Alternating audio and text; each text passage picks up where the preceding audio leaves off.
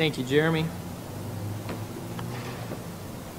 You can op- open up your Bibles to Luke chapter 16.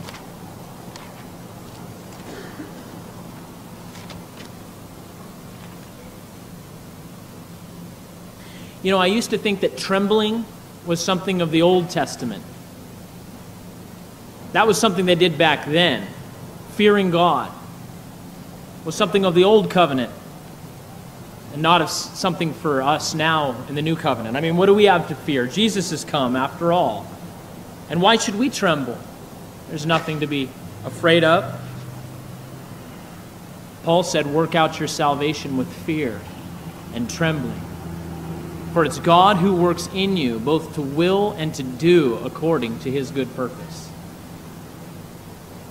I guess there's still a place for such a sober heart, such a fear of God, and such a radical seriousness of what the Word of God says that would actually cause you to tremble. Have you ever trembled at God's Word? Have you ever taken it that seriously? Have you ever asked yourself, who is speaking when you're reading the red letters?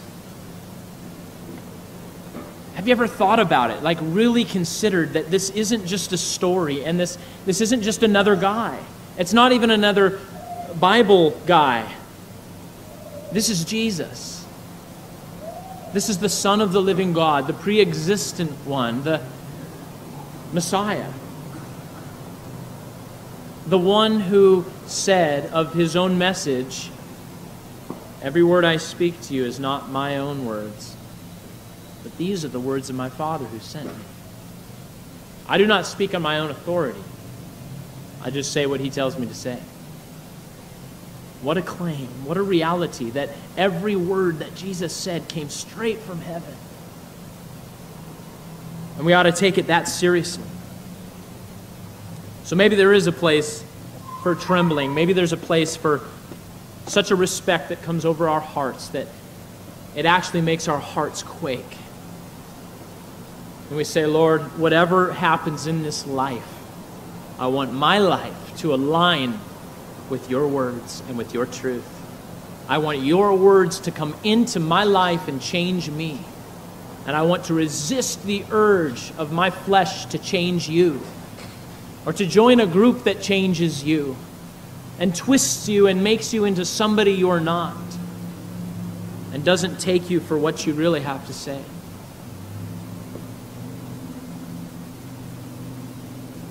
The subject that I want to speak about today is one of the most serious and tragic realities that we're facing today as a nation and as a church. This issue that Jesus spoke about is often accompanied by the most intense emotions that the human heart can feel. Tempers often flare, deep offense is taken. Battle lines are drawn over this subject between those who call themselves Christians. Maybe you've seen it already. I have. I've seen entire families move. I've seen churches crumble. I've seen people divide. I've seen people that are calm in nature shouting and yelling. I've seen people get offended very quickly when you just quote Jesus on this matter. Many have gone to great lengths to explain it away. Few will be brave enough to face it head on, and most would just assume to ignore it altogether and act like it's not there. But the issue of divorce and remarriage must be brought up and dealt with by those who would call themselves genuine disciples of Jesus Christ. This isn't an isolated matter that Jesus spoke about once. Even if it was, it would be worthy of all of our attention. But this is something that Jesus spoke about over and over and over again. What Jesus taught about marriage and what he taught about divorce and what he taught about remarriage is a distinctive of his kingdom. that can't be altered. And he made sure to be clear with how he spoke about it. I don't even need to mention the mind blowing statistics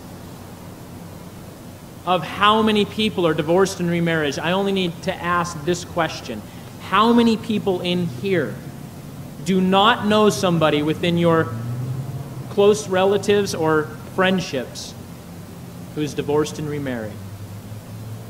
Does anybody in here not know somebody within your immediate family or your close friends who's not divorced and remarried? And not one hand. It's all over. Faces come into your mind right now, in mine as well. People that I love dearly, family members, people in this room. That divorce has affected, that remarriage has, has affected, that, that this whole issue is it's upon us, it's at our doorstep, it has infiltrated this nation. And the statistics of the professing church match that of the world in this nation. It's a sad state, but it's a reality. What has happened? How did Satan get in there and, and destroy? How did he twist people's understanding about this? When we look at Scripture, why does it seem so clear, but yet so few teach a serious stance on this issue? I remember being totally and utterly shocked when my eyes were open and I woke up to the reality what Jesus had to say about this. I'd been teaching the Bible for five years. I was raised in Christian America, if you want to call it that. I was raised within the church, the evangelical church, my whole life. And not one time ever was I ever taught or told that divorce and remarriage is adultery. Not one time. No pastor ever said it that I can remember. Maybe when I was really little they did, and I, I, don't remember, but I never remember hearing it once. My parents never talked to me about it. When I picked up the Bible and started reading it for myself, it's almost like I, I just glazed over it. And I remember I was teaching through the Sermon on the Mount about three, three and a half years ago to a congregation of people. And I came to some of the things that Jesus had to say about this, and I was stunned. And I was shocked. And I asked myself, who's teaching this besides Jesus? Can I even say this? Can I even read this and not be considered a heretic for just telling people that means what it says? I was shocked. I remember the day my eyes were open, and my life has never been the same. This subject has brought, probably more than any other subject thus far in my life, the most grief and pain into my life, and division within people that I love more than any other subject. And I've wept tears over it. I've lost sleep over it. I've skipped meals over it. My friends and I have prayed through the night over it. This is a serious issue. And we do well to look at it. And we do well at the outset to remember that this is not bad news. The gospel of Christ is good news. The message of the kingdom and exactly how Jesus presented it is good news. We shouldn't be ashamed of it. And as Jesus was not, we should not apologize for it, but declare the kingdom as Jesus did. When we look at statistics, we must remember that these aren't just numbers, they're people. And to every situation, there's attached deep pain, serious hurt, destroyed lives sometimes, bitter children, ruined relationships, and ultimately a grieved and a reproached God. Especially when it happens within those who profess to follow him. We must honestly and soberly look at what God's heart is on this issue and help to stem the overwhelming flood of adultery that is infiltrating the church for the sake of Christ and his kingdom. It's time for the church to take a stand. and to, to preach what Jesus preached on this, to stand by it, no matter what the cost. The words that Jesus Christ spoke about marriage have totally interrupted my comfortable Christianity. And if they haven't yet for you, as you take Jesus at face value and take him seriously, they will.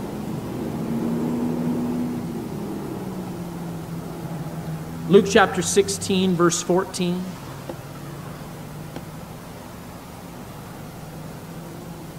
Now the Pharisees who were lovers of money also heard all these things that and they derided him. And he said to them, You are those who justify yourselves before men, but God knows your hearts. For what is highly esteemed among men is an abomination in the sight of God. Let's just stop right there. What a statement. I almost did a whole teaching on just that statement alone. What is highly esteemed among men is an abomination in the eyes of God. That's a paradigm shift that we need to take. That's a perspective of this God that we serve that we need to get down.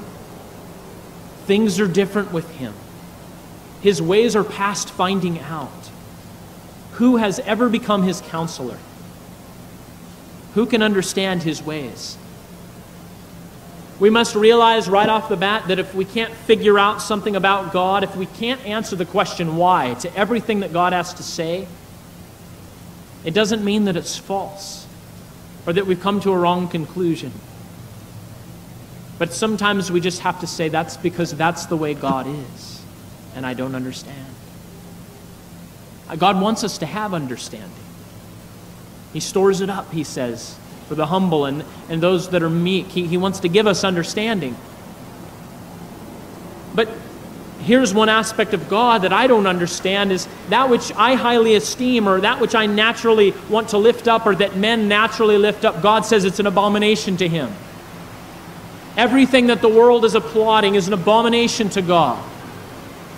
What men praise and the people he want that they want autographs from and that they want posters on their wall of and that they want to look like is an abomination to God.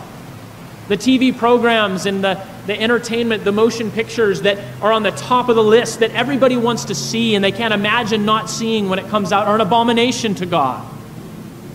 Those things that, that everybody wants.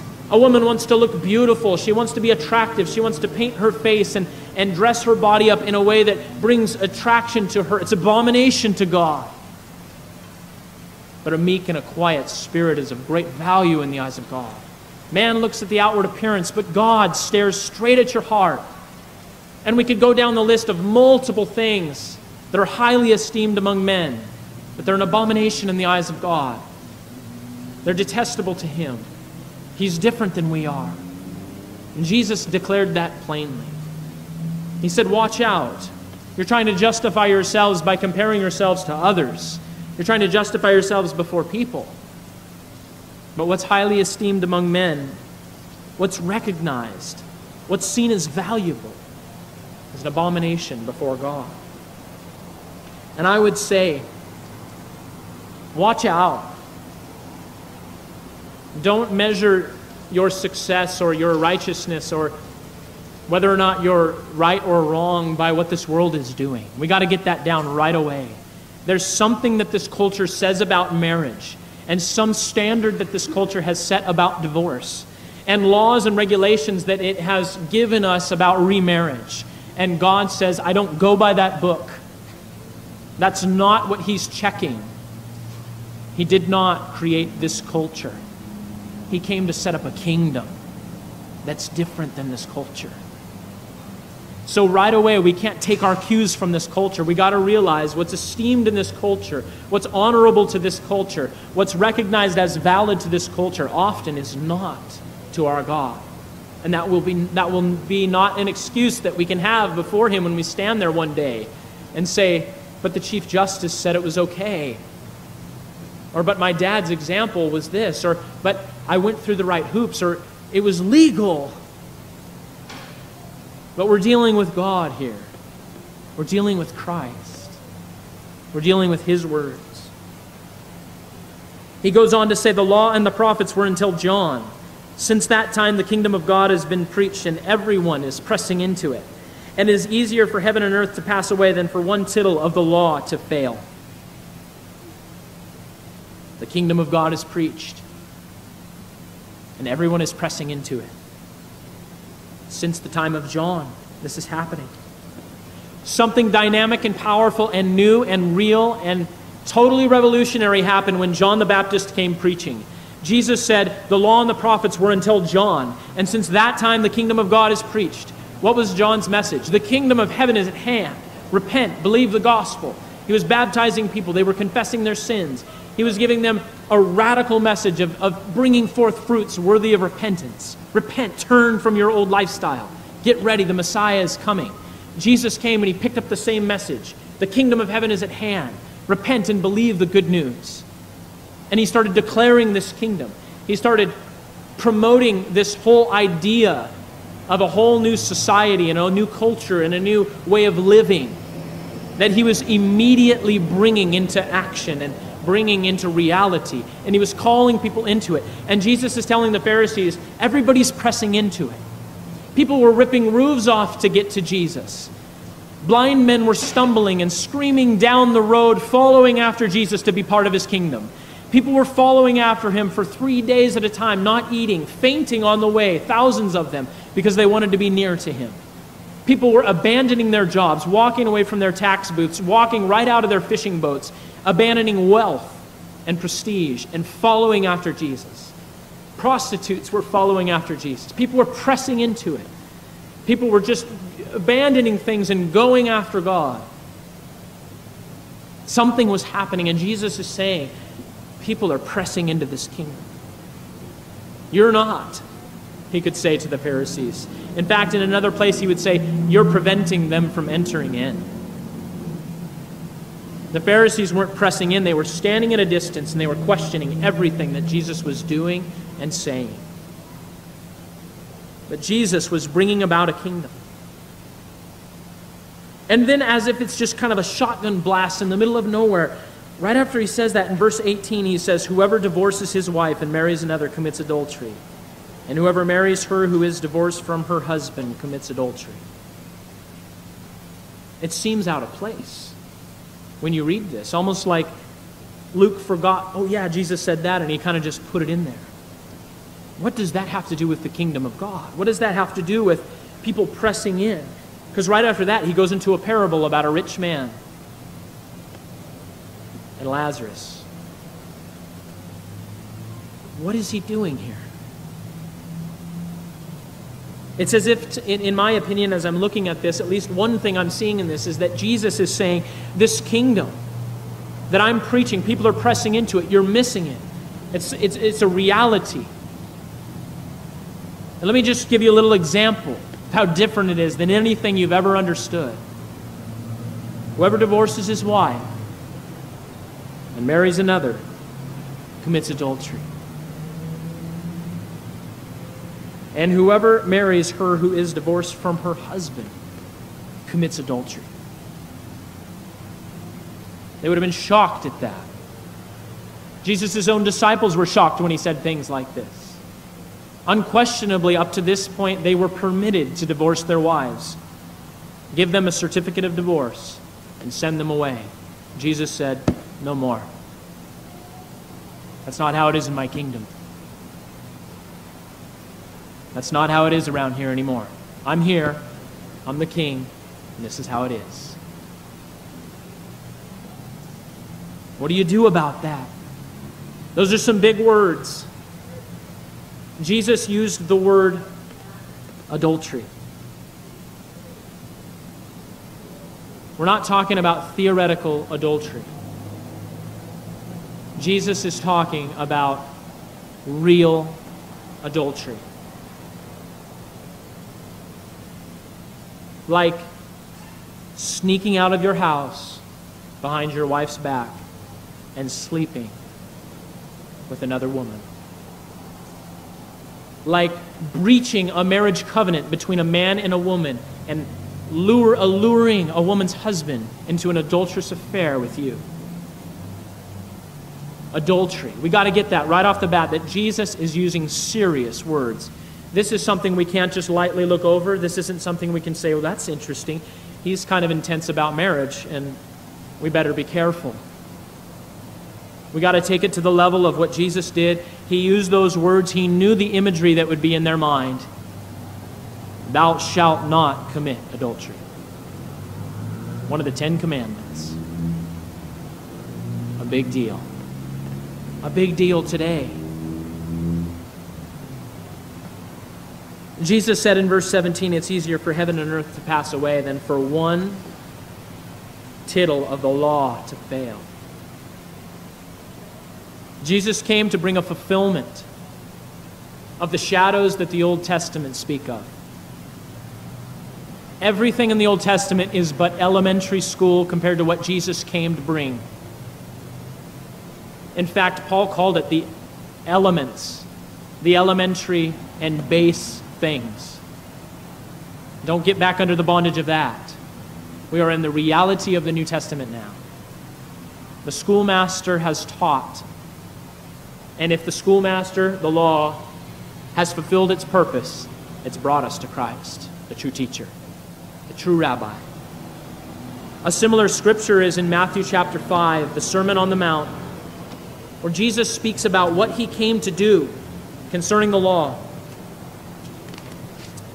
If you turn to Matthew chapter 5, verse 17. Jesus says, Do not think that I came to destroy the law or the prophets. I did not come to destroy, but to fulfill. For assuredly I say to you, till heaven and earth pass away, one jot or tittle will by no means pass from the law till all is fulfilled. Whoever therefore breaks one of the least of these commandments and teaches men so shall be called least in the kingdom of heaven.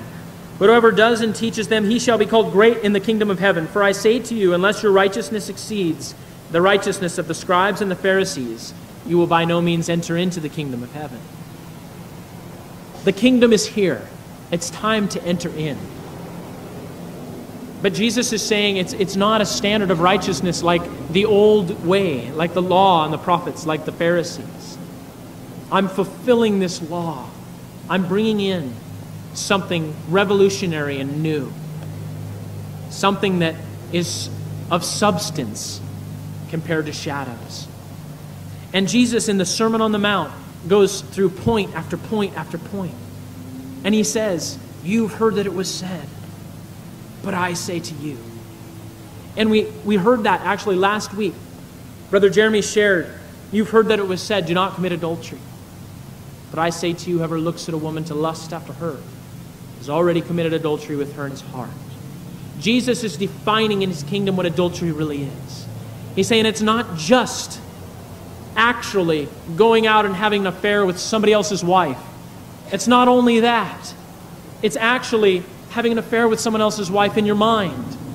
Or it's, it's having an affair with any woman or any man in your mind. That's adultery. Moreover, he says in verse 31, he's continuing this whole thought of adultery. Furthermore, it's been said, Whoever divorces his wife, let him give her a certificate of divorce.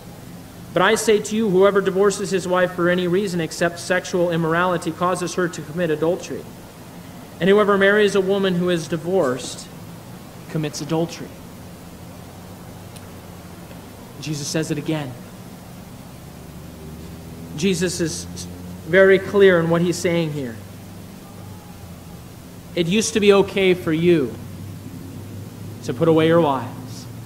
And we'll look at that in just a minute. That's in Deuteronomy chapter 24. The Old Covenant permitted that.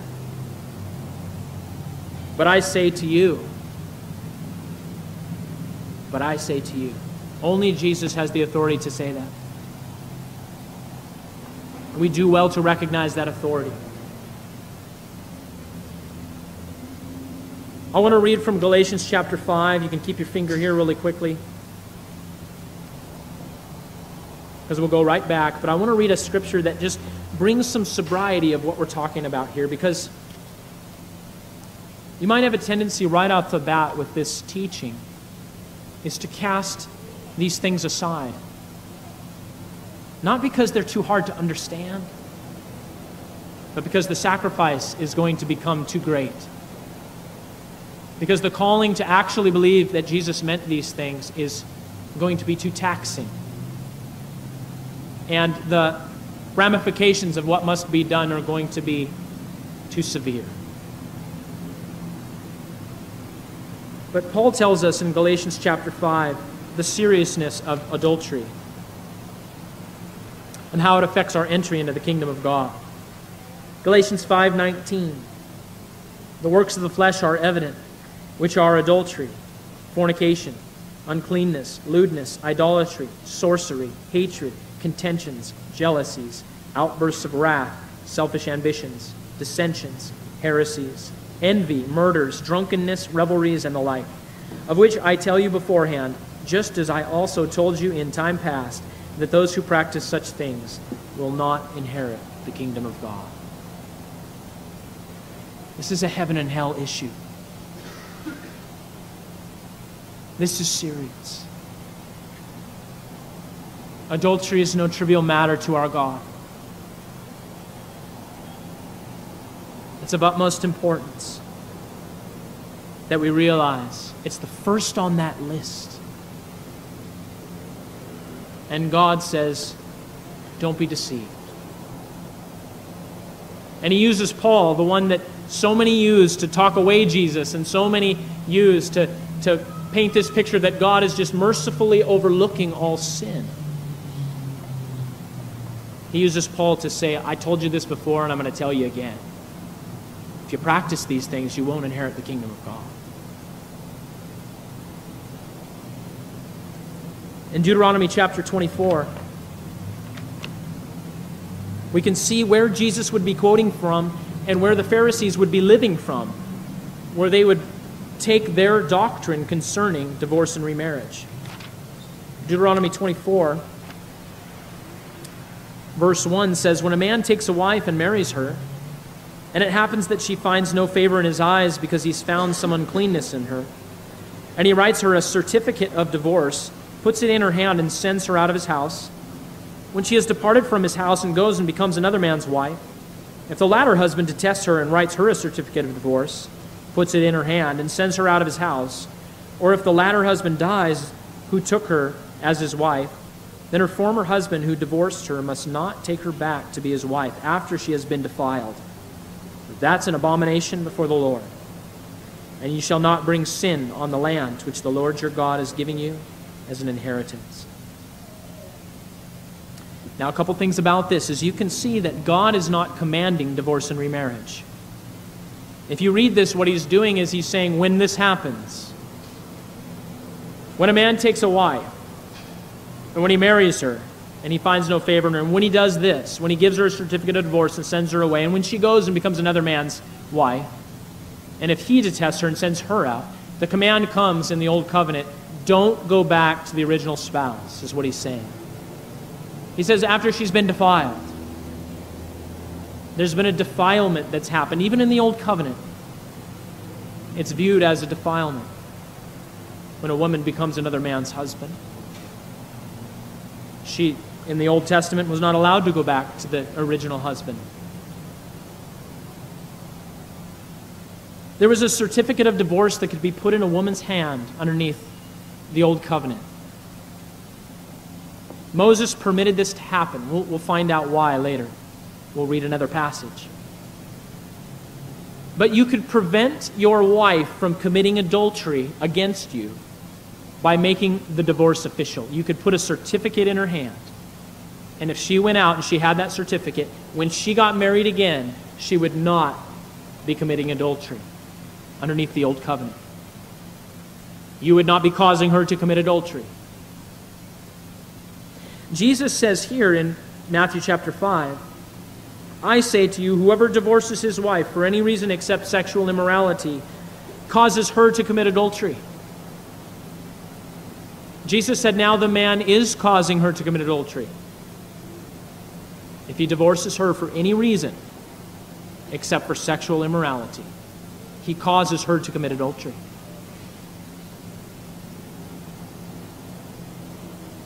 And it says here, whoever marries a woman who is divorced commits adultery. This, but I say to you, is quite different. He's not just giving them the, the true interpretation of what Deuteronomy always meant. He's changing things here, he's making something different. He's saying the certificate is, is not allowed anymore. You can't make it official. You can't prevent your wife from committing adultery if she marries again. You can be free from causing it if you put her away for sexual immorality, but regardless of why she's put away, she will commit adultery if she marries again. And whoever marries her who's been divorced commits adultery as well.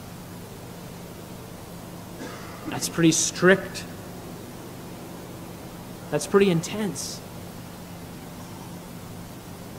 Why is Jesus doing this? Why is he paradigm shifting their view on marriage? What is Christ doing? Jesus spoke about this often. To the point where people understood within Christ's kingdom, divorce and remarriage isn't allowed. You see, the Pharisees even knew that this was a distinctive of his kingdom. They challenged him on it on different occasions. They came to him and publicly asked him questions about divorce and remarriage. If you turn to Mark chapter 10,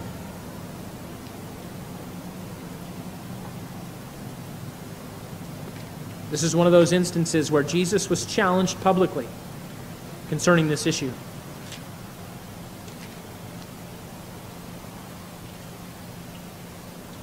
Mark 10, verse 1. Then he arose from there and came to the region of Judea by the other side of the Jordan, and multitudes gathered to him again. And as he was accustomed, he taught them again. The Pharisees came and asked him, Is it lawful for a man to divorce his wife? Testing him, testing Jesus. And he answered and he said to them, What did Moses command you? And they said, Moses permitted a man to write a certificate of divorce and to dismiss her. And Jesus answered and said to them, Because of the hardness of your heart, he wrote you this precept. But from the beginning of the creation, or beginning of the creation, God made them male and female.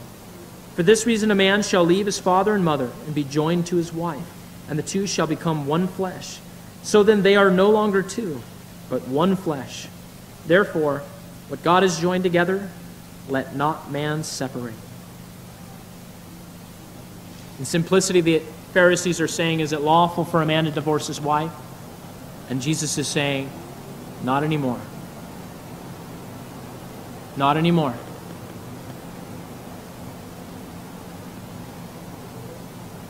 There was a reason that that was allowed, and it was because the hardness, the wickedness, the obstinance of your heart. But things are different now.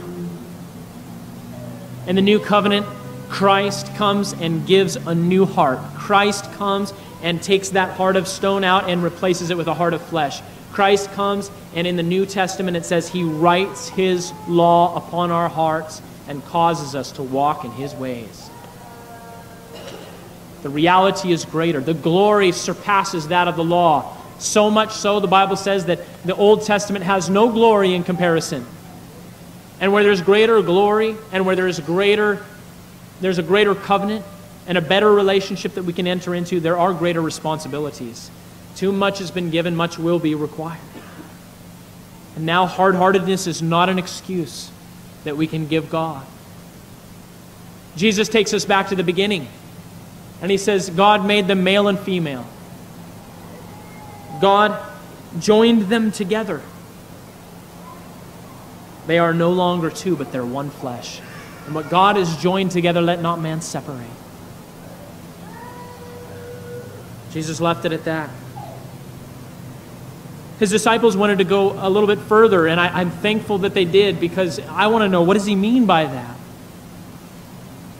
And this is a beautiful insight that we have. Picture it Jesus now going out of the public eye, and he, and he goes into a house, and his disciples are there with him, and, and they work up the courage to be able to ask him. And they come to him and they say, Lord, what you said out there about divorce and remarriage, what you've been preaching, can you just tell us plainly what, what do you mean? We can't divorce our wives? Or what is this one flesh thing? And you're obviously contradicting Moses. I, I don't know what they were saying, but they ask, they're asking Jesus about this matter. And Jesus says this it's in verse 10. It says, In the house, his disciples also asked him again of the same matter. So he said to them, Whoever divorces his wife and marries another commits adultery against her. And if a woman divorces her husband and marries another, she commits adultery.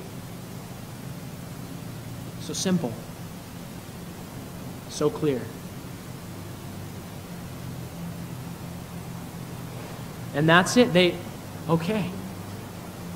A man divorces his wife and marries another, he commits adultery against her. He must be still married to her in God's eyes. He must be still united. He's committing adultery against her. That second wife is not really his wife. He seems to marry a woman when in reality it's an adulterous affair. The society puts the stamp of approval there. God doesn't. The society esteems it and recognizes it. It's an abomination to God.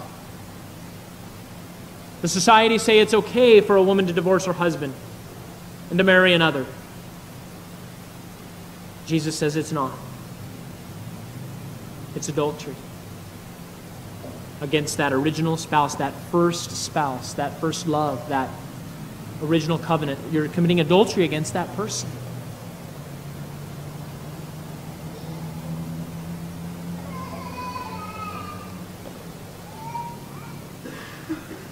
The conclusion of these things is, is pretty simple, but hard to believe at the same time. Very shocking.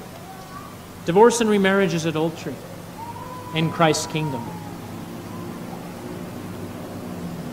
Divorce and remarriage is adultery in Christ's kingdom.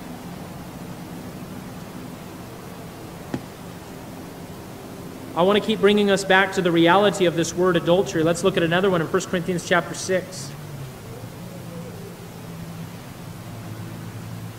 Verse 10, again, Paul here says, or verse 9, Do you not know that the unrighteous will not inherit the kingdom of God? Do not be deceived. Oh, when the Word of God says, Do not be deceived, perk your ears up. Let your heart pay close attention because there's a tendency to be deceived in these areas. Don't be deceived. Don't believe a doctrine today that teaches you that fornicators, idolaters, and adulterers, and homosexuals and sodomites will inherit the kingdom of God. Don't believe a gospel that says that you can live in sin and still go to heaven. Don't be deceived. Jesus came to destroy the works of the devil. He who practices righteousness is righteous as he is righteous. He who sins is of the devil, First John tells us. Do not be deceived, neither fornicators, nor idolaters, nor adulterers, nor homosexuals, nor sodomites nor thieves, nor covetous, nor drunkards, nor revilers, nor extortioners will inherit the kingdom of God. They will not inherit the kingdom of God. Jesus came to give us so much more than just this idea of grace where, hey, it's, it's all okay now. I'll just cover all your sin and I'm going to I'm going to throw this blanket of pre forgiveness over your life. And, and it doesn't really matter how you live anymore because I paid it all and, and I bled and I died for your sins. And so how you live has nothing to do with your eternal state. You can live just like the heathen and you can inherit the kingdom of God. The Bible, page after page, Jesus' message through his apostles say that's not the case. And this should strike fear into our heart because as we begin to put these things together as it pertains to divorce and remarriage, if divorce and remarriage is adultery, and adulterers will not inherit the kingdom of God, the only way to be set free and the only way to be at peace and forgiven by God is to repent. To repent. I know that's not a popular message, and I could go on and on about how repentance has lo- been lost today and how so many people preach a gospel without the message of repentance, and it's, it's produced such a lukewarm, false church. It's so sad. I would encourage you to listen to the message that I gave on the statement of Jesus unless ye repent, you will all likewise perish. You see, people today, they love the, the thing that, that God proclaimed to Moses in Exodus when he, when he said, The Lord, gracious and merciful, slow to anger, abundant in loving kindness and truth. They love that part, but he went on to say this Who will by no means clear the guilty, but visiting the iniquity of the fathers upon their sons to the third, fourth, fifth, I forget how many he says, but generations. Showing mercy to thousands of those who fear me. But God says, I, I, am merciful and I'm kind and I'm, I'm, full of goodness and I'm full of grace and I, I love you so much that I gave my only son, but I'm not going to clear the guilty. I'm not going to act like it's not there. No, I'm going to empower you to walk in repentance and righteousness. Repentance is very important in the equation of salvation. The process of forgiveness and peace with God needs to be understood.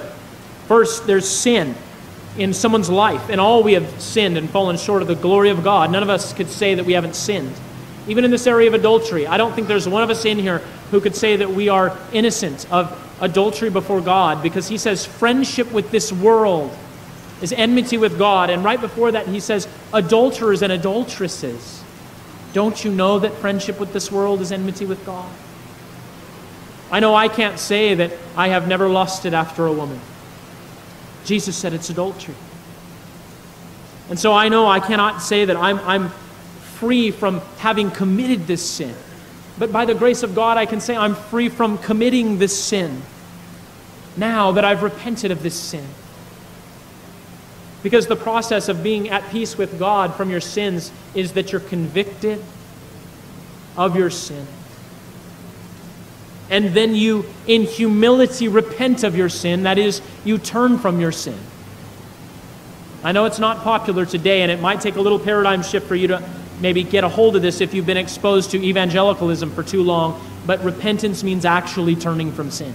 And you can do it. You can do it. It's not impossible. Before Jesus came, before the Holy Spirit was poured out, people were repenting. They were repenting at the baptism of John. They were turning from sin. And you need to turn from sin and turn to Christ. And so that process, it involves sin and then conviction and then humility, repenting, and faith.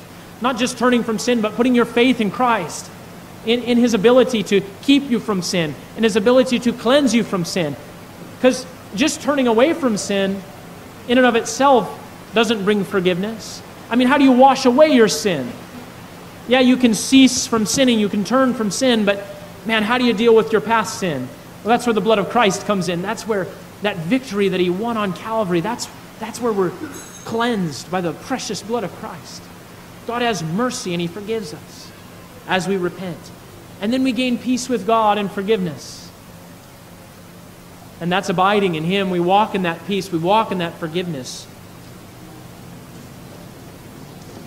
And so we see the way that this works with all sin.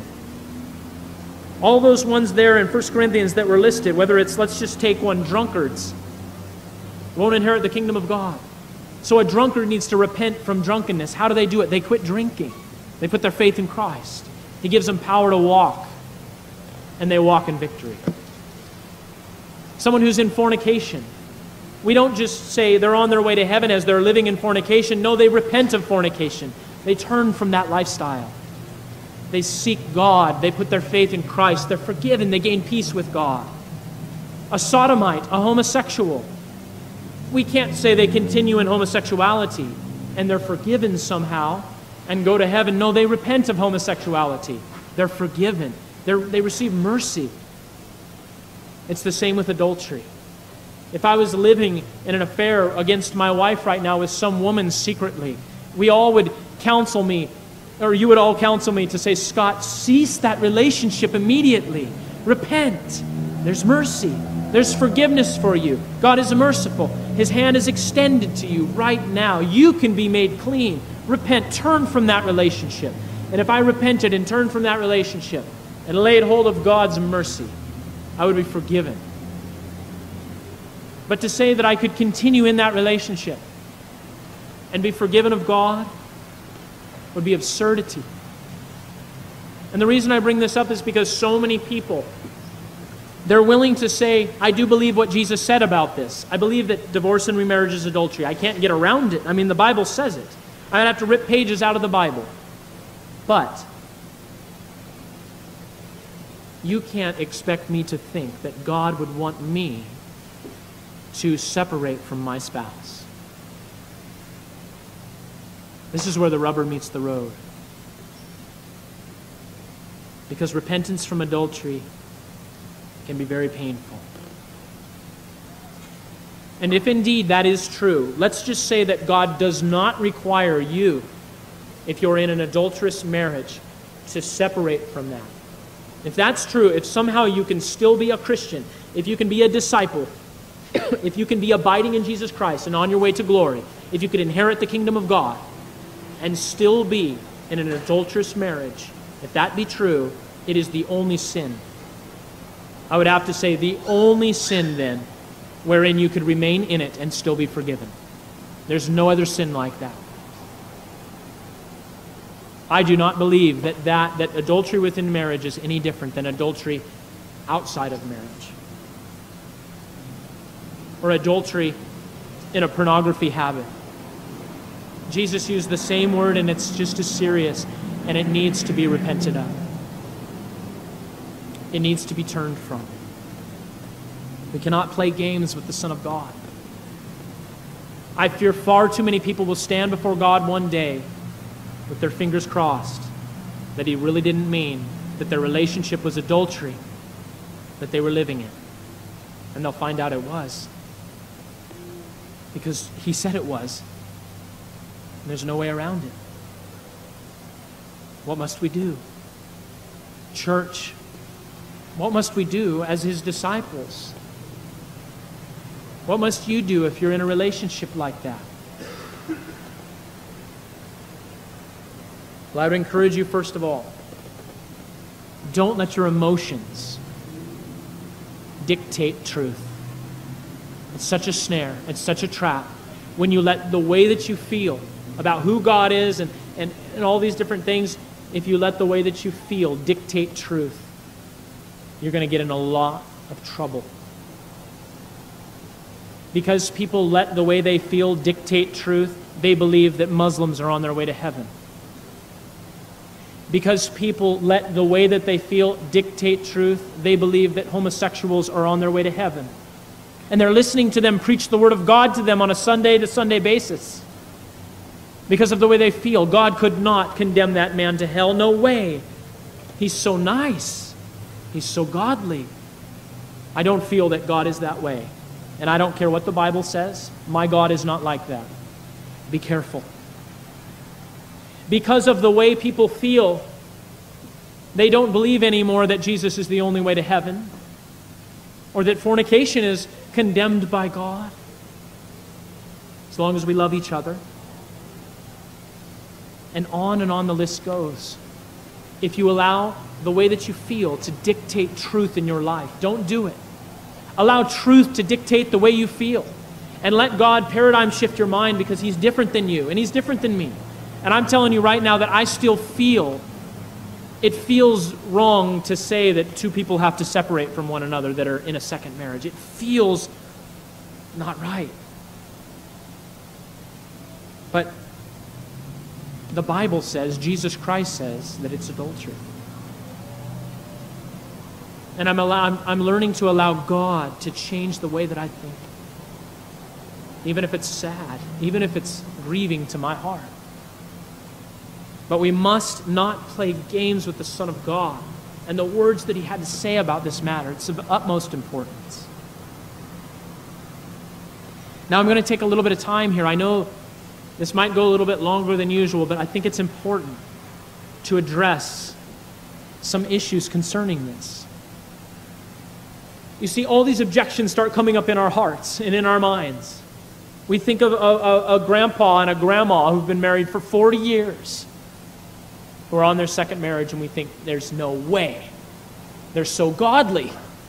Or we think of a situation that we might be in, or that a friend of ours in, is in.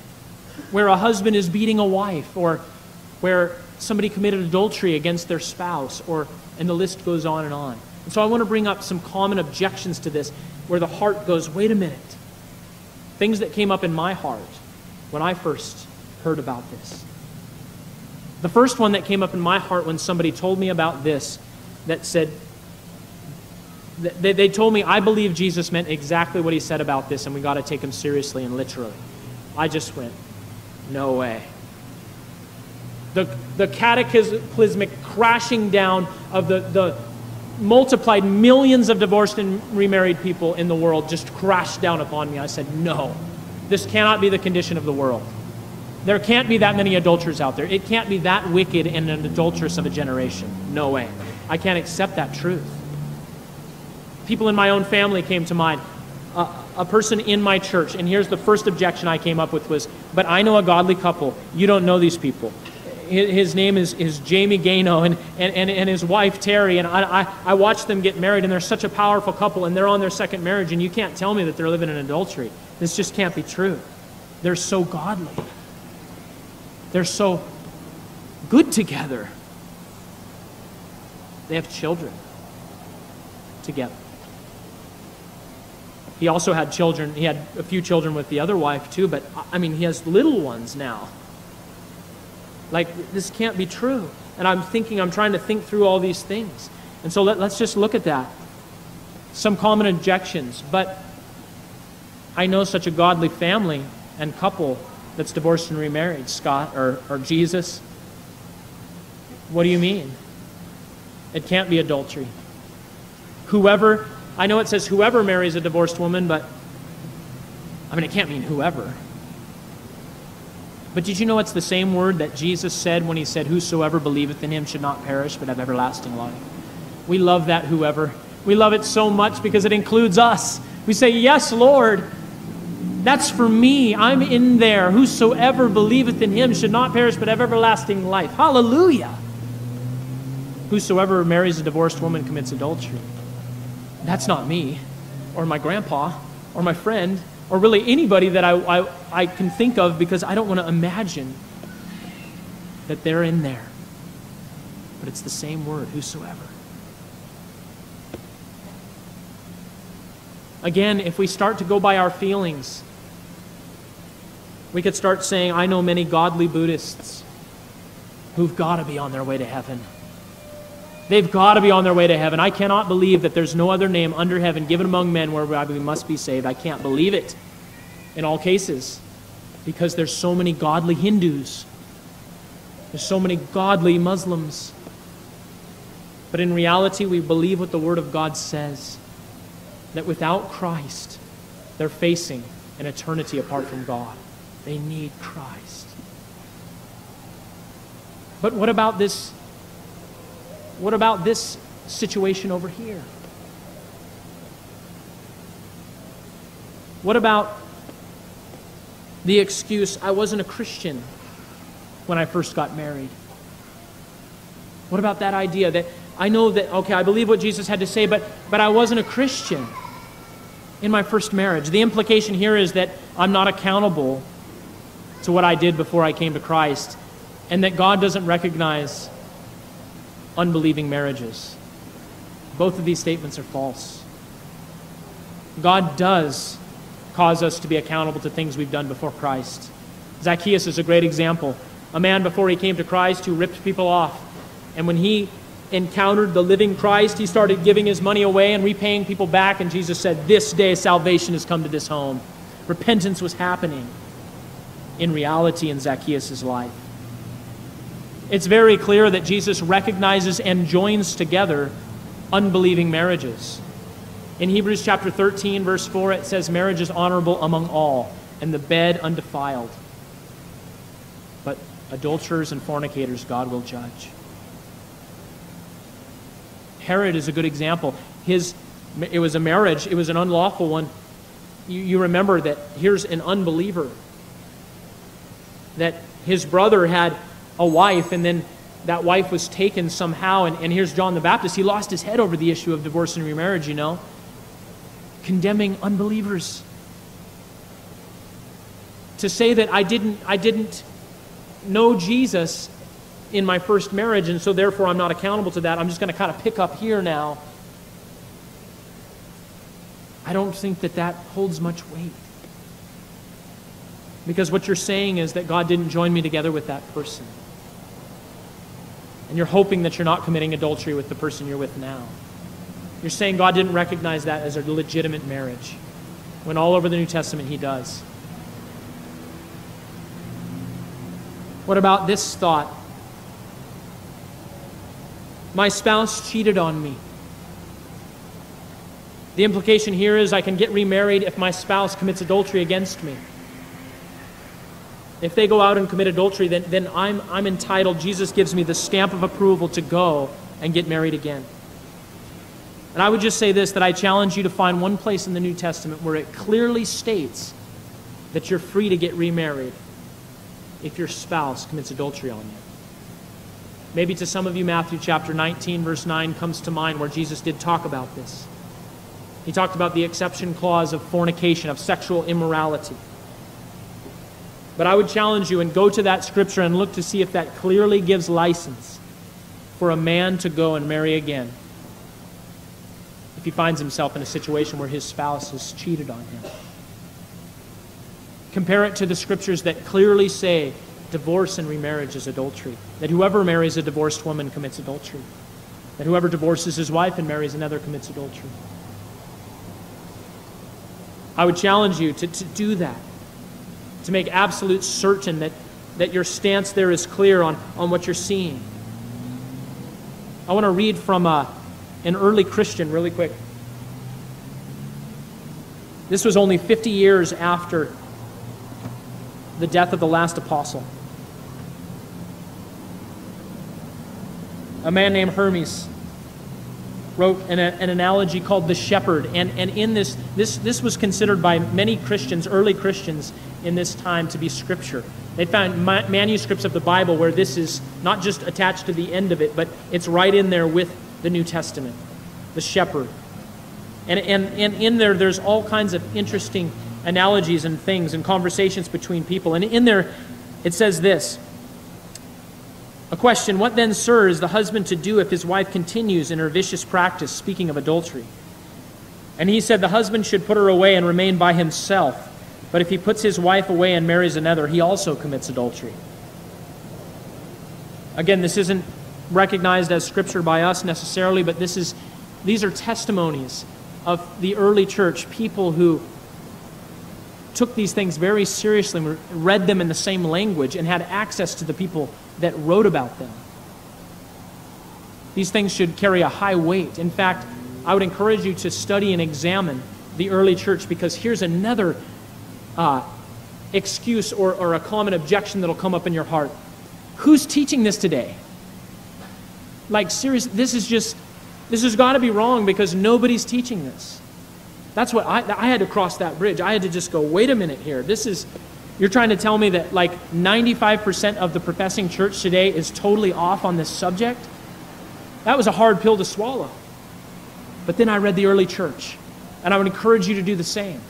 Read the people who knew the apostles, read the people that spoke the same language as the apostles, read the people that were within 100 or 200 years from the birth of the church, and see what they had to say about divorce and remarriage. You'll be shocked. They would be thrown out of churches today. They would be called heretics for their stance on divorce and remarriage. When it's the opposite today. You take a stance on this issue, and you'll be labeled a heretic so quick. But I remember coming to this conclusion. One of two realities is true.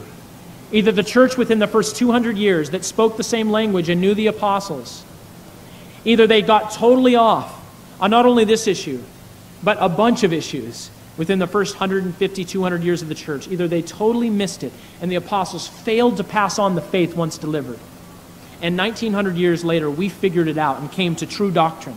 Or, possibly, just maybe, 2,000 years of church history, translations, and culture, and liberalism setting in in this society has caused us to miss it.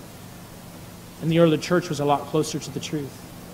And I took that premise and I took it to the scriptures and I compared the early church's writings with the scriptures, and they're much more true and much more literal. And they give respect to the Word of God more than many commentators do today.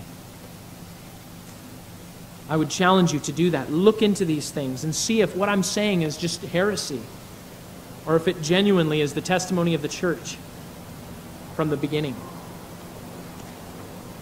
What about this one? I've had children with my second spouse. This is things get so hard. These things are not easy. It's a mess. There's and I'm not saying the children from an adulterous relationship are a mess. They're beautiful lives that God did create. I believe that. And every man and woman will be responsible for their own sin. Children will not be held responsible for the sins of their fathers, the sins of their mothers. Each person will stand before God and give an account of their own life. Whether someone's born in fornication, they're born in adultery as we usually think of it, or they're born in an adulterous relationship, they're born from rape. The children will not have to answer for these things. But it doesn't change the fact that the parents, according to God's word, are still in adultery. The implication here is God wouldn't want me to abandon my children. I would agree with you 100%. God would not want you to abandon your children. God would want you to care for your offspring. God would want you to rear them and raise them the best way that you could. God would want you to take the responsibility that is upon you for bringing life into this world. But it doesn't change the fact that divorce and remarriage is adultery according to Jesus. And adultery must be repented of. I don't know exactly what that looks like.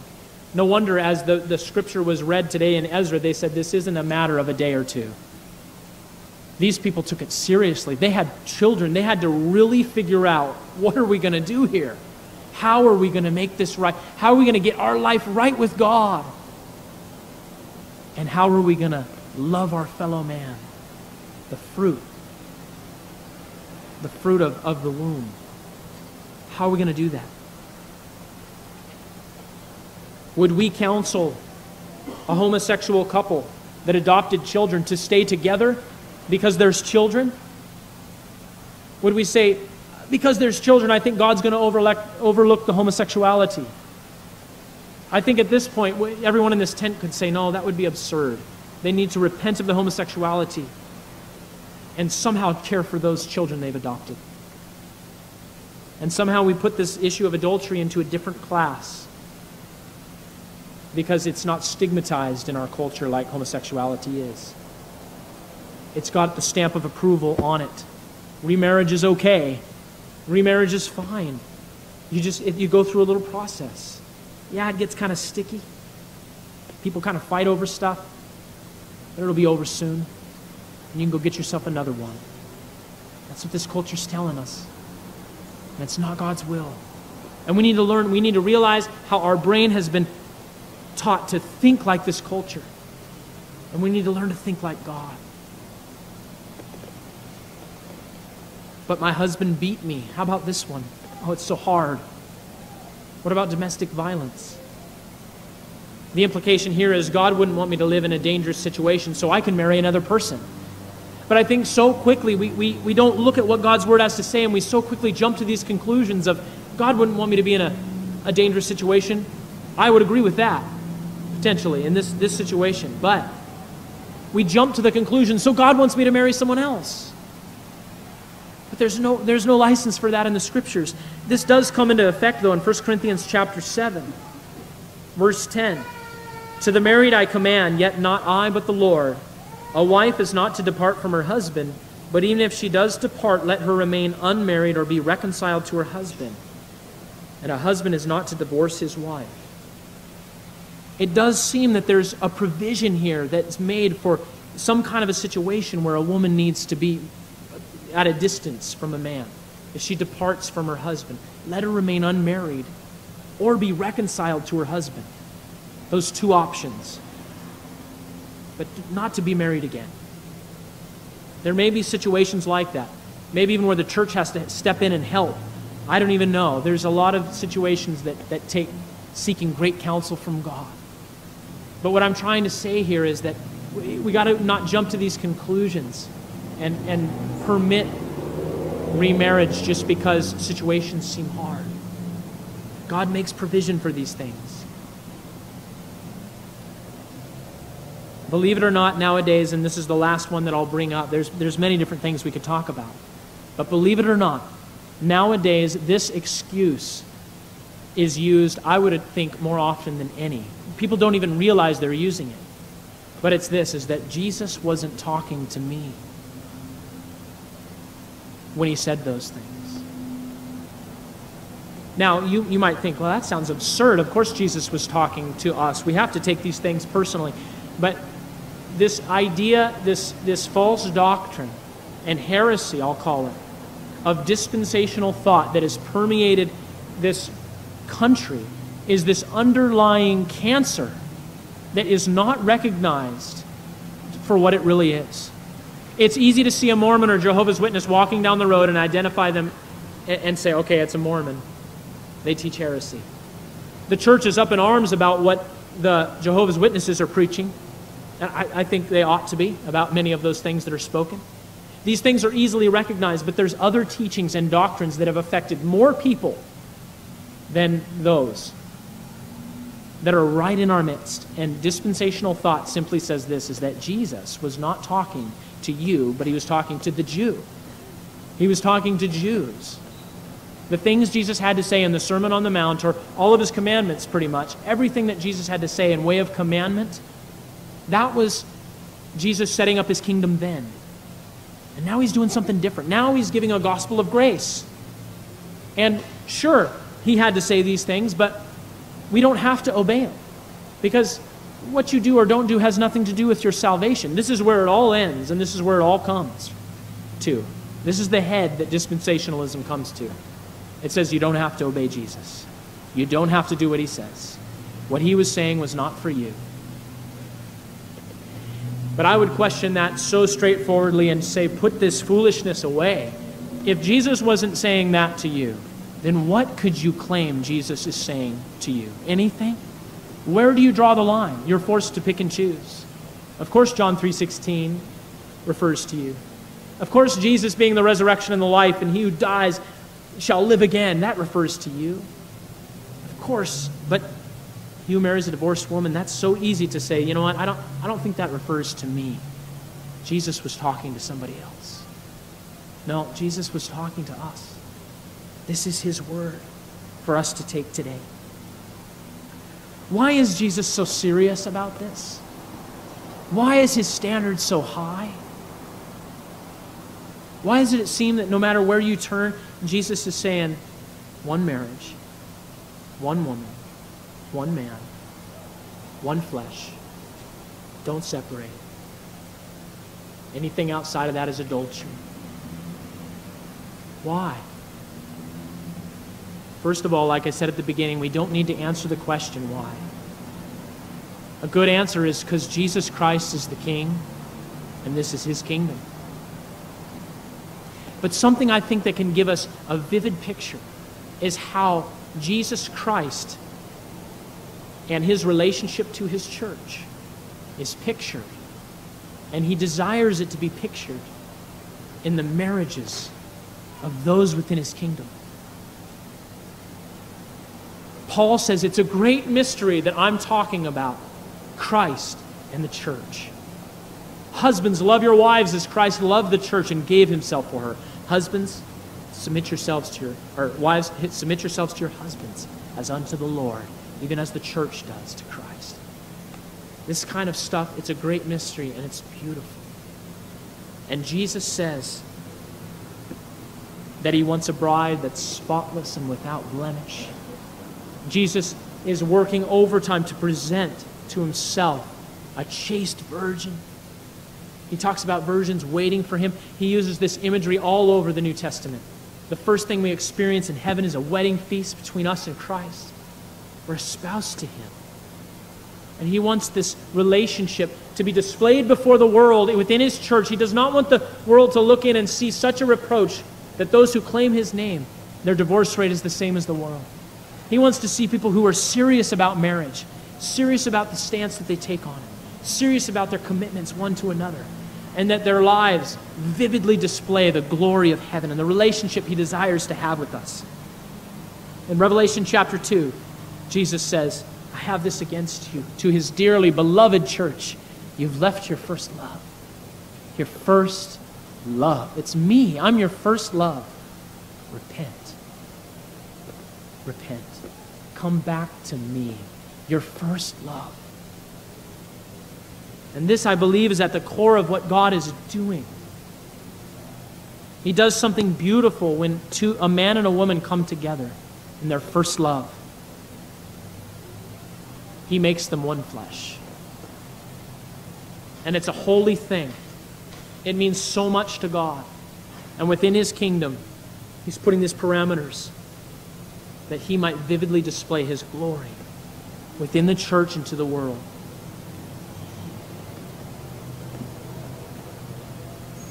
I know that some of you may be stirred up in your emotions because of what Jesus had to say about remarriage.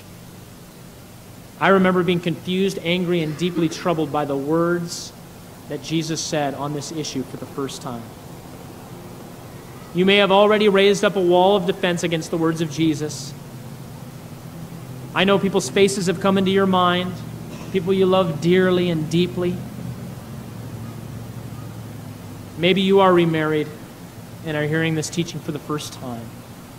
Maybe you're divorced and you're contemplating getting married again. This teaching comes in and it touches us very deeply.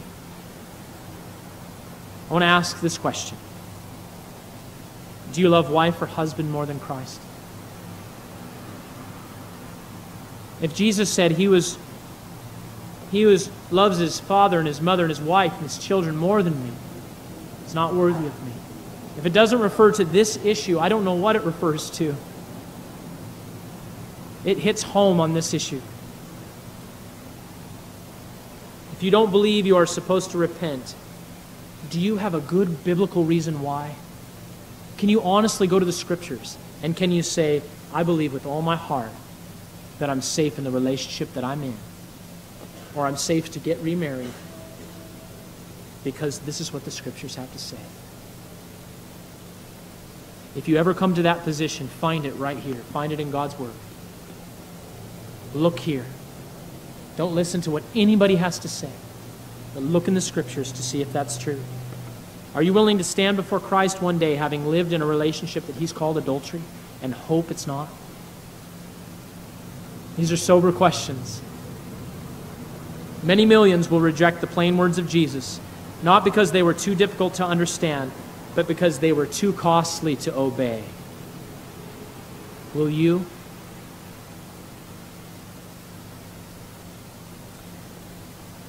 Father, I am sobered by what you have to say about this issue.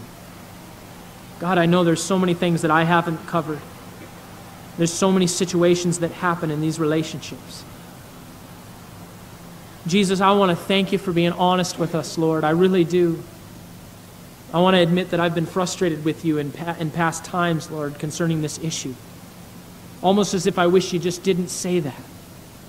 But Lord, I just want to declare today that I'm glad you said that because I love you and I love your ways. And Lord, there's still things that I don't understand, and there's still things that we don't get.